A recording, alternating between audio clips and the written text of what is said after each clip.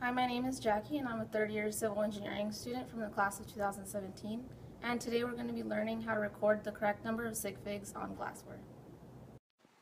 The general rule of thumb for reading significant figures on glassware is to figure out the smallest increment that the glassware displays and then read the volume with an additional one-tenth of the increment accuracy that was given. For example, look at this graduated cylinder. The lines are in increments of 0.1 milliliters.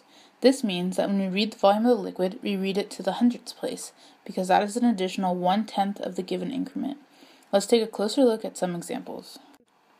Our first example is a 10 milliliter graduated cylinder. After filling the graduated cylinder with a solution, we will take the reading.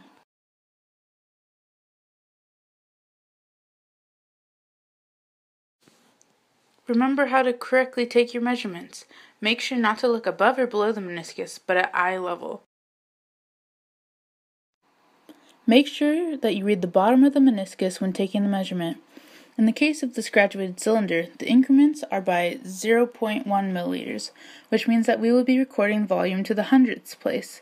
In this case, the volume of the liquid appears to be 7.11 milliliters. The next glassware instrument we will look at is the 50 milliliter burette.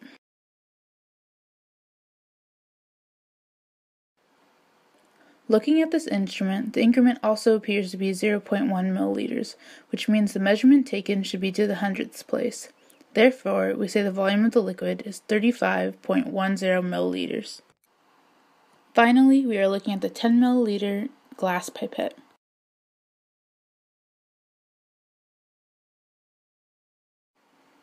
This instrument has the same increments as the previous two, so therefore should be measured with the same accuracy.